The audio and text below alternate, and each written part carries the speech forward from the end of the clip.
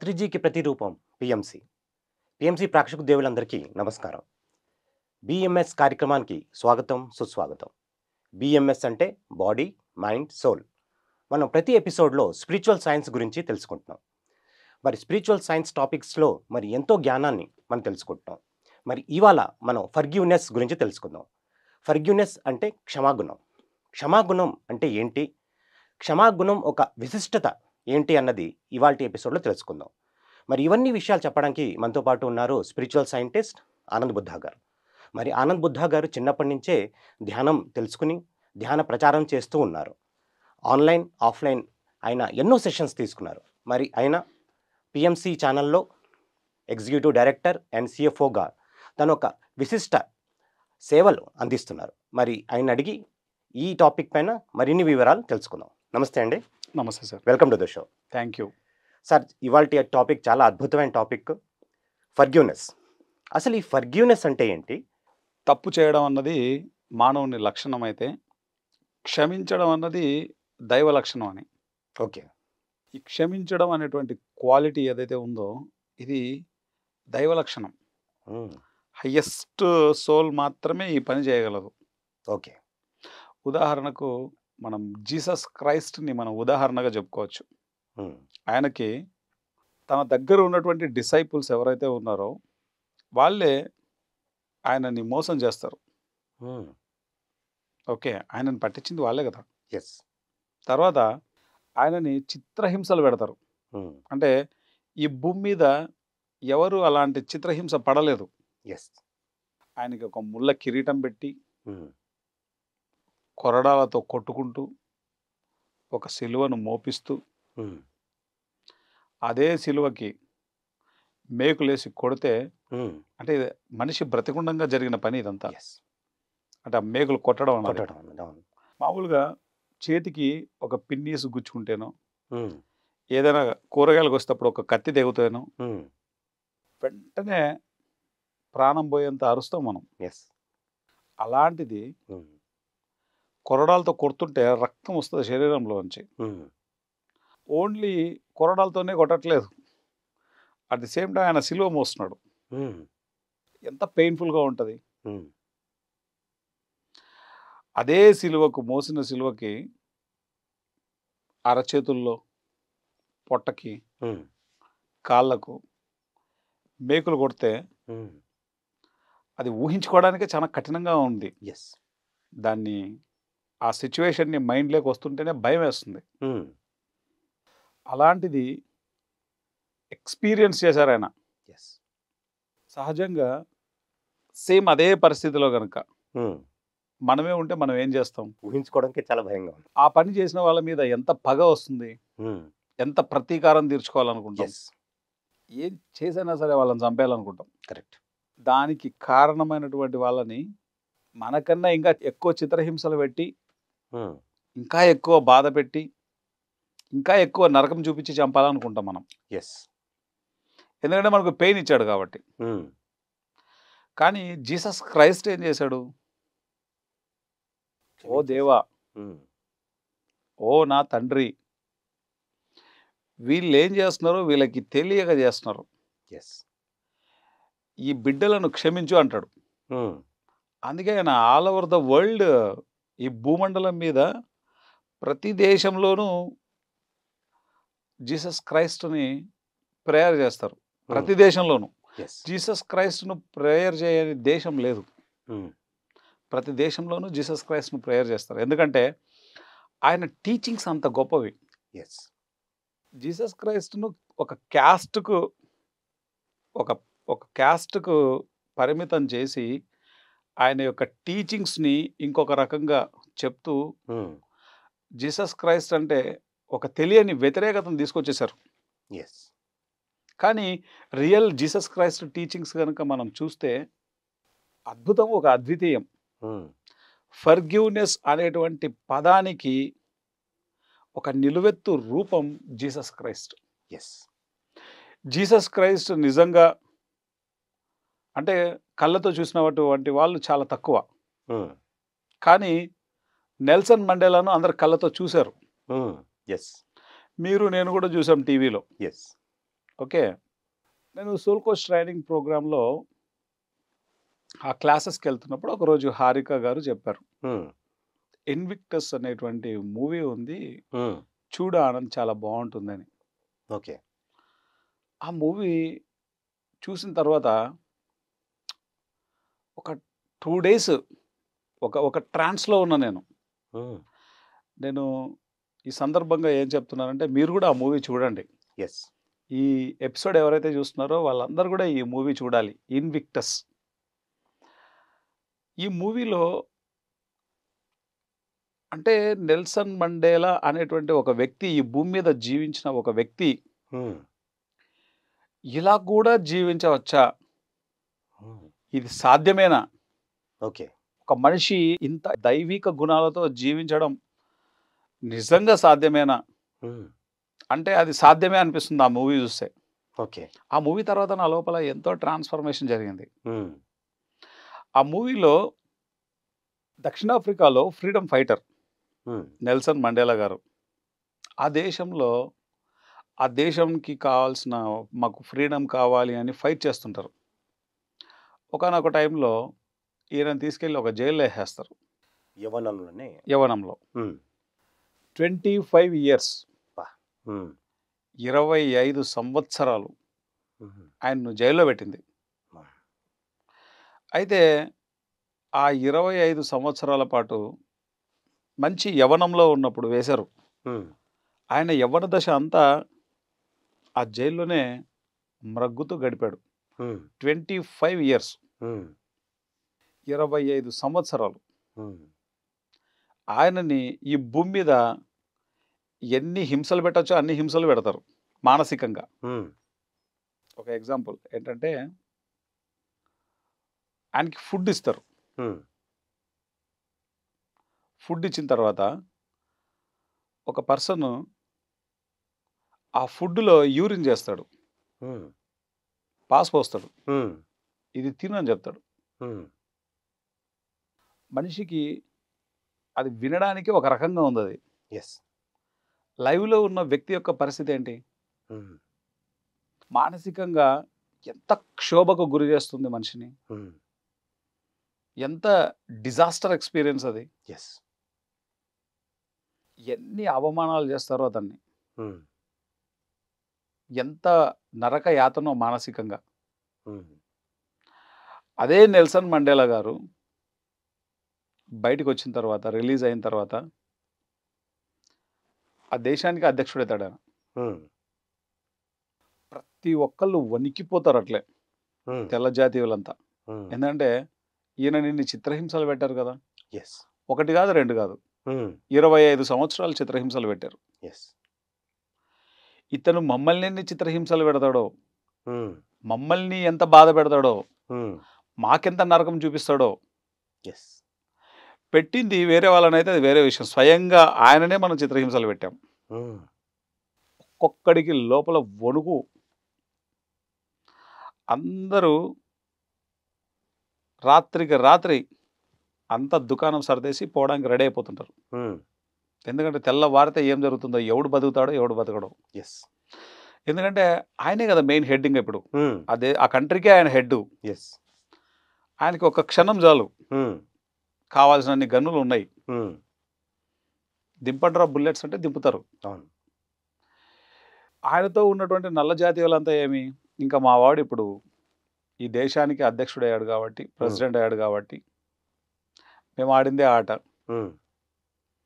ఈ తెల్ల జాతీయులు అంతు చూడాలని వీళ్ళు డిసైడ్ అయిపోతారు. ఇన్ఫర్మేషన్ నాకు తెలుస్తుంది. ఆయన వర్డ్స్ ఆ విన్నప్పుడు నాకు ఆ వర్డ్స్ని విన్నప్పుడు అంటే ఫస్ట్ టైం నేను మూవీ చూస్తున్నాను కదా ఆ వర్డ్స్ విన్నప్పుడు ఆయన లిటరల్గా దేవుడు అంటే ఇలా ఉంటాడేమో అనిపించింది నాకు. దేవుడు అంటే ఎవరంటే ఆ క్వాలిటీయే దేవుడు. ఎస్ ఆయన ఏం చెప్తాడంటే తెల్ల జాతీయులము నల్ల జాతీయులం ఇక్కడ అందరము మనం సమానమే. ఎవరు ఏ ఏ పదవులలో అయితే ఉన్నారో ఆయా పదవులలో అందరూ అలాగే ఉండాలి. మనమందరం కలిసి పనిచేద్దాం కలిసి మన దేశాన్ని అభివృద్ధి చేద్దాం. ఎస్ అని ఆయన సెక్యూరిటీలో కూడా ఆ సెక్యూరిటీలో కూడా సగం తెల్ల జాతీయులను సగం నల్ల నల్ల జాతీయులను పెడతారు. అంటే ఇది క్షమాగుణానికి ఎంత పరాకాష్టమో చూడు. ఎస్ ఆయన అనుకుంటే కనుక క్షణంలో చంపేస్తాడు. కానీ ఆ స్టెప్ తీసుకోలేదు ఆయన. క్షమించాడు. క్షమించడం అన్నది చాలా చెప్పడానికి చాలా ఈజీగా ఉంటుంది. అంటే ఎవరైతే ఈ భూమి మీద ప్రస్తుతం క్షమించలేని పరిస్థితులలో జీవిస్తూ ఉంటారో వాళ్ళకు మాత్రమే తెలుస్తుంది దీని విలువ. క్షమించు అని మనం మాట్లాడతాం. కానీ ప్రాక్టికల్గా క్షమించడం చాలా కష్టంగా ఉంటుంది. ఎస్ ఆ ఆత్మ అంత గొప్ప ఆత్మ అయితే కానీ క్షమించలేరు. ఉమ్, ఎదుటి వ్యక్తిని. ఒకసారి హోటల్లో కూర్చొని ఆయన నెల్సన్ మండేలా గారు భోంచేస్తుంటారు ఉమ్, ఆయన వెనుక ఒక పర్సన్ ఉంటాడు. ఉమ్, వణుకుతుంటాడు ఇట్లా. నెల్సన్ మండేలా గారిని చూసి. Hmm. ఎందుకు వణుకుతుంటాడు అని ఆలోచించాను నేను కూడా మూవీ చూసినప్పుడు. ఓకే. ఆయనకి భోజనం ఇచ్చినప్పుడు పాస్ చేశాడు ఆ ప్లేట్లో అని చెప్పాను చూడు. అతనే అతను.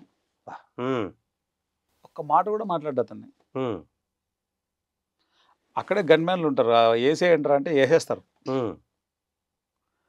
అంటే ఈ భూమి మీద ఆయన చనిపోయినప్పుడు హయ్యెస్ట్ వ్యూవర్షిప్ టీవీ వాచింగ్లో ఆయన టీవీలో హయ్యెస్ట్ వ్యూవర్షిప్ వచ్చింది ఒక నెల్సన్ మండేలా గారికి. ఆ కాలంలో. ఎస్ అంటే ఒక మనిషిలో ఈ క్షమాగుణం అనేది ఎంత గొప్ప స్థాయికి తీసుకొస్తుంది చూడు. అదే క్షమాగుణం కనుక లేకపోయిందంటే ఫస్ట్ ఆఫ్ ఆల్ ఆ మనిషి లోపల ఆ మనిషి చచ్చిపోయేవాడు ఫస్ట్. చాలామంది ఏం చేస్తారంటే వాళ్ళ జీవితంలో జరిగిన సంఘటనలను తలుచుకొని ఆల్రెడీ ఆ సంఘటనలు జరిగిపోయినాయి. ఈ ఉన్న ప్రస్తుత జీవితాన్ని కూడా నరకం చేసుకుంటుంటారు. అంటే అదే విషయాలు తలుచుకుంటూ తలుచుకుంటూ అంతే కదా. ఇప్పుడు ట్వంటీ ఫైవ్ ఇయర్స్ ఆయన జైల్లో జీవించారు. ఎస్ ఆయన జీవితం మనకేం చెప్తోంది? ఈ మూమెంట్లో జీవించు అని చెప్తోంది. ఎస్ ఫర్గివ్ చేయని చెప్తోంది. క్షమించు అని చెప్తోంది. క్షమించకపోతే ఏమవుతుంది ఆ ఇరవై ఐదు సంవత్సరాల పాటు పొందినటువంటి చేదు అనుభవాలను ఆ యొక్క నరకాన్ని ఆ యొక్క బాధలను ఆ యొక్క కష్టాలను ఇంకొక ఇరవై ఐదు సంవత్సరాలు తలుచుకొని ఉన్న జీవితం కూడా నాశనం అయిపోతుంది. ఎస్ అక్కడికి క్షమించేసామనుకో ఉమ్, ఆ నెక్స్ట్ లైఫ్ ఎంత బ్యూటిఫుల్గా ఉంటుంది. ఉమ్, ప్రస్తుతం ఈ సమాజంలో ఏమేం జరుగుతున్నాయో ఒక్కసారి కనుక మనం చూస్తే ఉమ్, చిన్న చిన్న విషయాలకు ఎంతో దుర్భరమైనటువంటి జీవితాన్ని జీవిస్తుంటారు. చిన్న చిన్న విషయాలకు హర్ట్ అయ్యి చిన్న చిన్న విషయాలకు బాధపడుతూ చిన్న చిన్న విషయాలకు కష్టాలు పడుతూ చిన్న చిన్న విషయాలకు నష్టాలు ఫీల్ అవుతూ వాళ్ళ జీవితాన్ని ఎంత నరకం చేసేసుకుంటుంటారో. ఎస్ అవునా కదా? అంటే ఒక నెల్సన్ మండేలా గారి కష్టాలు మనకి ఏమైనా వచ్చాయా ఒక జీసస్ క్రైస్ట్కు ఉన్న కష్టాలు మనకి ఏమైనా వచ్చాయా? లేదు. మన కష్టాలు వాళ్ళ కష్టాలతో పోలిస్తే ఎంతపాటి కష్టం మనది కానీ ఇంట్లో ఉన్న ఒక నలుగురు లేదా ఒక పది మంది కొట్టుకు చస్తూ జీవిస్తుంటారు. ఒక నరకం ఒక నరక కూపం అది. ఎందుకు అలా జీవిస్తారు మనుషులు అంటే అజ్ఞానం. అజ్ఞానం అంధకారం మూర్ఖత్వం. ఇవన్నీ మనిషిలో శివతాండవం చేస్తున్నప్పుడు మనము మన జీవితం ఒక నరకంగానే ఎక్స్పీరియన్స్ చేస్తుంటాం. రిచార్డ్ బాక్ ఏమంటారంటే మనం ఎంత జీవితాన్ని దుఃఖంగాను బాధతోనూ మనం జీవిస్తున్నామంటే అంత అజ్ఞానం మనలో ఉందని అర్థం. కాబట్టి మనం ఎక్కడ ఏ విధంగా ఉన్నాము అని సరి చేసుకోవాలి. ఇప్పుడు రాయలసీమలో ఫ్యాక్షనిజం అనేది చాలా పవర్ఫుల్గా ఉంటుంది. Yes okay. ఒకరి ప్రాణాలు ఒకరు నిర్దాక్షిణ్యంగా తీసు తీసేస్తారు. పెద్ద పెద్ద గొడవలు అవుతాయి కత్తులతో వేట కత్తులతో నరుక్కుంటారు. బాంబులు వేసుకుంటారు. పడిగాపులు కాసి చంపుతారు.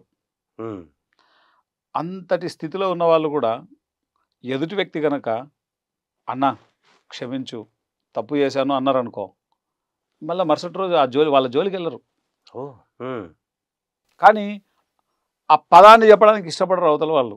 ఎందుకు క్షమించు అనే పదం వాడరు? ఎందుకంటే క్షమించు అనే పదం నువ్వు వాడాలి అంటే నువ్వు నీ లోపల ఆ దైవ లక్షణం ఉంటే తప్ప వాడలేవు. క్షమించు అంటే మనం తక్కువ అయిపోతాం అనుకుంటాం. క్షమించు అంటే ఎదుటి వాళ్ళ హృదయాన్ని గెలుచుకోవడం. మనం తప్పు చేసినప్పుడు క్షమించు అడగడానికి నొప్పి ఏంటి? కానీ అది చెప్పకపోవడం వల్ల ఎన్ని డిజాస్టర్ ఎక్స్పీరియన్సెస్ చూస్తారో లైఫ్లో ఎన్ని వినాశకరమైనటువంటి అనుభవాలను పొందుతారో. కాబట్టి క్షమాగుణం అన్నది చాలా అద్భుతమైనటువంటి క్వాలిటీ. ఎస్ పై పైకి క్షమించడం కాదు. లోపల నుంచి క్షమించాలి ఎదుటి వ్యక్తిని. క్షమించడం అంటే. ఎందుకంటే సి నువ్వు కనుక నీ పై పై లెవెల్లో క్షమించేశాను అన్నావు అనుకో నీ లోపల థాట్స్ అన్నీ అవే ఉంటాయి. ఎస్ పదే పదే ట్రిగ్గర్ చేస్తుంటాయి అవి. ఉమ్, కాబట్టి ఈ క్షమాగుణం తాలూకా విజ్డమ్ ఫస్ట్ ఆఫ్ ఆల్ మనం తెలుసుకోవాలి. ఫర్గ్యూనెస్ అనే బుక్ ఉంది. ఉమ్, చదవాలి అందరూ ఎస్ మనం ఏదైనా మనకు ఆచరించాలంటే ఫస్ట్ ఇన్ఫర్మేషన్ తెలుసుకోవాలి. మూవీస్ చూడాలి. ఇన్విక్టిస్ అనే మూవీ చూసామనుకో. మన జీవితంలో మన టైం వేస్ట్ చేయం ఇంకా. ఒక్క క్షణం కూడా వృధా చేయం. ఇలాంటి మూవీస్ చూడాలి. ఉమ్, అందుకే నేను ఏమంటున్నానంటే క్షమించడం అన్నది పై పై లేయర్స్లో ఉండకూడదు. ఉమ్, మన డీప్ మన అంతరంగాలలో నుంచి ఎదుటి వ్యక్తిని క్షమించేయాలి. ఏదైనా మన పట్ల తప్పు చేసినప్పుడు. అప్పుడే మనం కంప్లీట్గా ఆ వ్యక్తిని క్షమించేసినట్లు. అదర్వైజ్ లోపల నుంచి మనం క్షమించకపోతే మళ్ళీ మళ్ళీ అవే థాట్స్లోనే మనం కొట్టుమిట్టాడుతూ ఉంటాం. వీడు నన్ను అలా అన్నాడు వీడు నన్ను ఇలా అన్నాడు వీడు నన్ను ఈ విధంగా మోసం చేశాడు ఆ విధంగా మోసం చేశాడు వీడు నా మీద వ్యతిరేకతతో ఉన్నాడు ఇట్లా నానాక చెత్త అంతా వచ్చేస్తుంది. క్షమించడం అన్నది ఒక దైవ లక్షణం.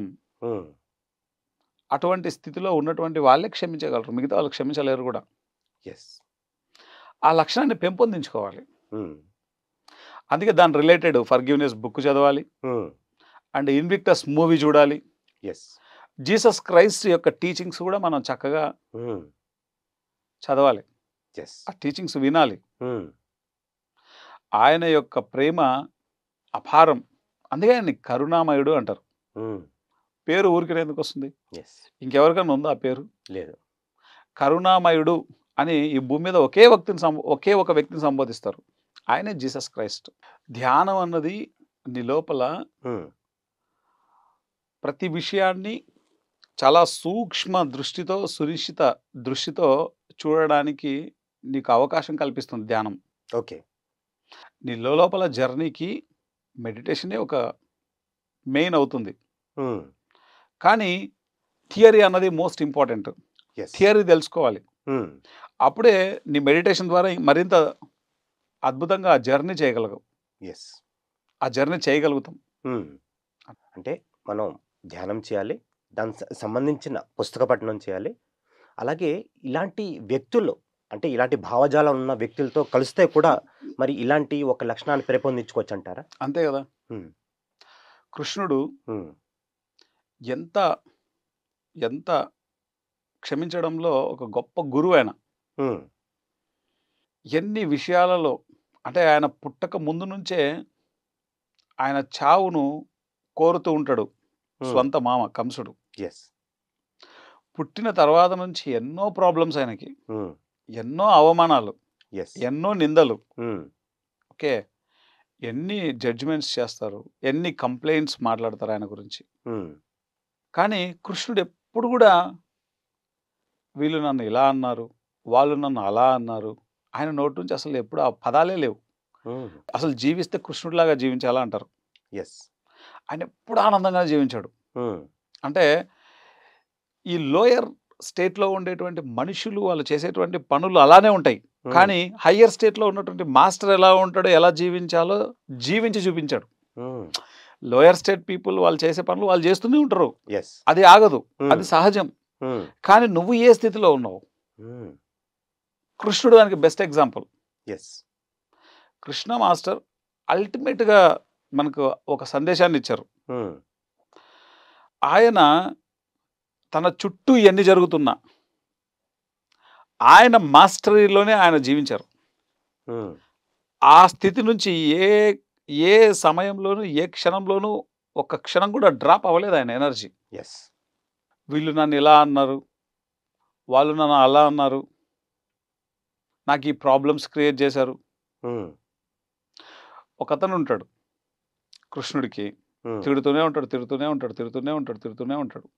పేరు శిశుపాలుడు. తిడుతూనే ఉంటాడు. నవ్వుతూ ఉంటాడు కృష్ణుడు.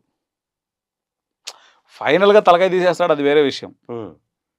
కానీ తొంభై తొమ్మిది సార్లు వింటూనే ఉన్నాడు. అవునా కదా? తొంభై తొమ్మిది సార్లు ఎవరు వింటారు?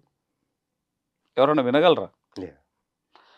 కృష్ణ మాస్టర్ అల్టిమేట్గా అంటే ఏ స్థాయిలో ఉన్న ఆత్మ ఆ స్థాయి పనులను చేస్తూనే ఉంటుంది. అది సహజము. కానీ మనం ఏ స్థాయిలో ఉన్నాం మనం ఏ స్థాయిలో జీవించాలి అన్నదానికి best example Krishna master. Yes ఈ యొక్క ఫర్గివ్నెస్ అనేది ఈ భూమి మీద ఒక అల్టిమేట్ క్వాలిటీ అది. ఎంత అద్భుతమో అది. ఎస్ ఆనంద్ గారు. మరి ఈ ఫర్గ్యూనెస్ అనే అంశం పైన మరి ఎంతో అద్భుతమైన జ్ఞానాన్ని ఇచ్చారు. ఇంత జ్ఞానం ఇచ్చినందుకు మీకు ఎంతో కృతజ్ఞతలు. Thank you sir thank you very much so ఇదండి ఇవాళ బిఎంఎస్ ఎపిసోడ్ ఇంకొక ఎపిసోడ్ మళ్ళీ కలుసుకుందాం. అంతవరకు సెలవు.